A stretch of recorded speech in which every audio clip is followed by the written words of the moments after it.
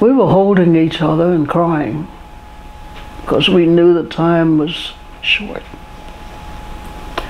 Medgar told me, and I quote, Myrlie, you're stronger than you think you are.